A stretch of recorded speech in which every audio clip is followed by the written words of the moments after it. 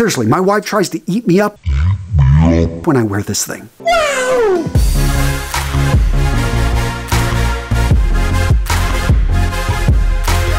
Let's start this video off with a fragrance that you guys have given me so much crap about not mentioning lately, and that is Viktor and Rolf's Spice Bomb Extreme. Now, the original Spice Bomb is great. Spice Bomb Extreme is a bit stronger. It's going to last longer, is going to project a bit more. This is a linear fragrance, meaning that it's going to smell the same throughout the life of the fragrance. It's got a bit of spice, which is going to be the pepper. The vanilla, though, is what really sets this and keeps this creamy. Just it is sweet. It is nice. The ladies love this. This thing is going to get you compliments. It is going to project. Now, the tobacco is really what makes this a bit more masculine. Got a bit of lavender in there, but overall, this is a great scent. Some people feel it's overplayed. I don't think so. I mean, there's enough guys out there that just aren't wearing anything. You want to smell good? This is a no brainer. Next up, we got a fragrance that nobody talks about, and that is Davidoff's Amber Blend. This one's been around for about four years, and it really came in under the radar. Now, as the name implies, this is an amber based fragrance. So if you've never smelled one before, this is a great one to start with. But you can't pick up the other notes. So we're to have nutmeg and cinnamon right at the top. We're also to have a bit of rum mixed in with the amber, but the amber is the dominant note. We've got sandalwood in the base. Overall, a solid fragrance. This thing has sillage. Basically, it projects. This is something that's going to last all day. And if you look around, you can actually find it at a decent price. Now, speaking of amber, let's talk about Bad Boy. This comes from the house of Carolina Herrera. And I have to say, the performance on this isn't great, so this isn't going to be the one I recommend from Carolina Herrera. But if you love the smell of amber, if you want something with a bit of cocoa, basically chocolate, and you don't mind it only lasting about four to five hours, this is a great one. Now, if I'm going to recommend a Carolina Herrera for the winter that's going to last long, that's going to have projection, I'm to recommend CH Privé. I really like this one. It's got a nice boozy scent. So the opening notes here, we've got whiskey, grapefruit, then we get into lavender, cardamom. This thing right here, it's just a great fragrance. Absolutely love it. A little bit of wood as well down at the base. This fragrance for me lasts good eight hours and projects well. Next up, let's talk about Parfums de Marly. This house been around only 10 years, but they've got over 30 fragrances out there. And in my opinion, the vast majority of their fragrances fit perfect with the winter. So right here, Godolphin, if you're into leather fragrances with a bit of fruit, this is a very wearable leather fragrance. There's a lot of them out there. You just, they're difficult to wear. This one is easy and it's really nice and smooth. Well, let's say you want a bit of tobacco, maybe with a bit of vanilla down there at the base, a little bit of cinnamon pepper at the top, mixed in with a bit of incense, you're going to want to check out Herod. But if there's one Parfum de Marly I have to recommend above all when it comes to projection, when it comes to longevity, I have literally put this on sweaters and picked it up a week later. This is the one you need to check out. It is Carlisle. So up at the top, we're going to have a bit of apple. As we get into this, all of a sudden you've got patchouli, you've got vanilla, a bit of rose. This thing is, in my opinion, a masterpiece. It gets compliments. It's an amazing fragrance. And again, if you're going to start off with Parfums de Marly, this, in my opinion, is the fragrance to do it with. Now, that last set of fragrance I know can be hard to find and they can be expensive. So, what's something that you can walk into a store and actually try? Check out Armani Code. What I love about Armani Code is for a winter fragrance is actually pretty versatile. And I think it's because of that citrus. You've got the bergamot, you've got the lemon, but very quickly you're going to pass that and you get into the aromatic. You start getting into the base of this fragrance. It's going to be the tonka bean, the leather, a little bit of tobacco in there with guaiac wood. There is just something about this combination.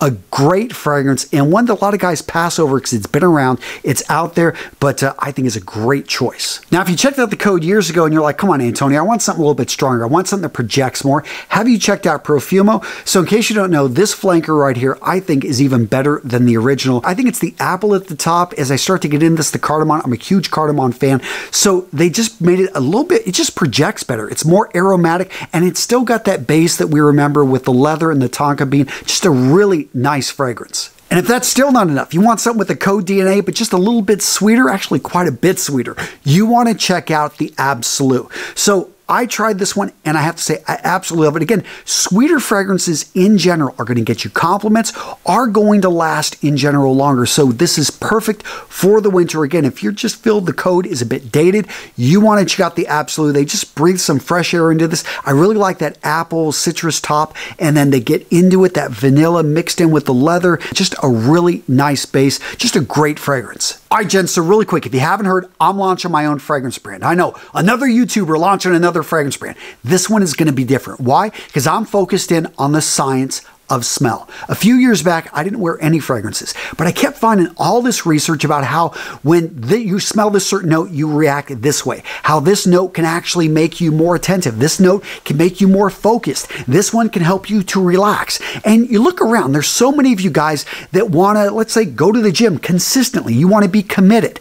And how do you do that? How can fragrance help you? So, because of that, because I started diving into all this research, I realized, wow, there needs to be a fragrance brand out there that explains all this and creates fragrances that can help you be more committed, maybe be more honorable, more courageous. Yes, guys, the honor, courage, commitment. I was in the Marine Corps, so these were our these were our core values. Anyone in the Navy knows it as well. Army, you guys know this. Air Force, Coasties. Point being, anyone that has served for a purpose, hire, you know, a part of the military as a first responder. You guys know that there's bigger ideals we shoot for. And I was always disappointed with all these fragrances. They seem to just all focus in on sex appeal. Hey, I'm not a prude. I love sex. But when it comes down to it, what if you wanted to give a fragrance set as a gift? Or what if you want a fragrance set that you, when you wear this commitment, it's going to remind you that you've committed to waking up at 5 a.m. and stepping out and going to the gym? Can a fragrance, you know, make you lift weights more? Not necessarily, but a fragrance can remind you if you condition yourself to be more committed. And that's what's interesting. So we're setting up these courses. I'm diving into the psychology, and my goal is to put out these fragrances that teach you about the science of scent so that they can maybe help you a small amount each day to condition yourself to be more courageous, to be more confident, to be more conditioned, to be committed to your goals so that you can go out there and become the man you know yourself to be. If this sounds remotely interesting. Guys, check out the link down in the description of today's video. I'm going to link over to an early bird list where I'm sending email updates, a lot more information than I'm going into right here.